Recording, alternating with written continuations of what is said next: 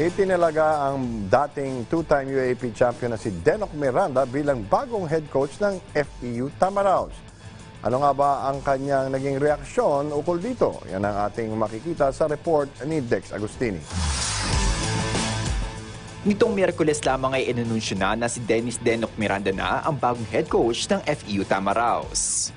Pinunan niya ang posisyon ni Austin Racela na siyang nabuno sa Tamaraws mula taong 2017 hanggang 2022.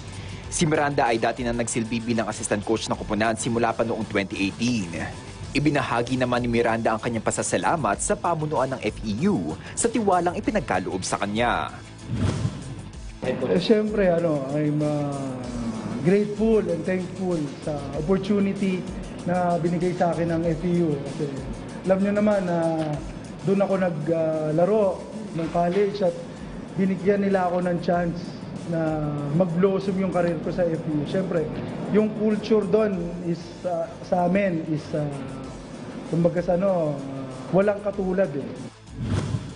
Matatandaan na dati nang naglaro si Miranda para sa Tamaraws, kung saan bahagi siya ng kampyonato nito noong UAAP Season 66 at 67. Kaya naman idiniin niyang dadalhin niya ang karanasang ito sakali magsimula na siyang tugunan ng obligasyon niya bilang head coach.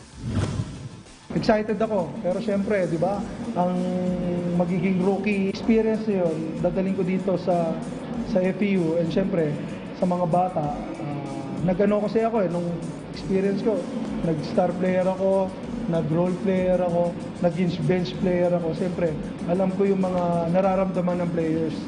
Ah, for now, kasi medyo ako yung pinakabata. Ako yung pinakabata sa coaches. ah. Sinigurado rin ng dating PBA cager na mas paigtingin nila ang pagpapabuti sa kanilang depensa. Final Four, mabigat yan eh.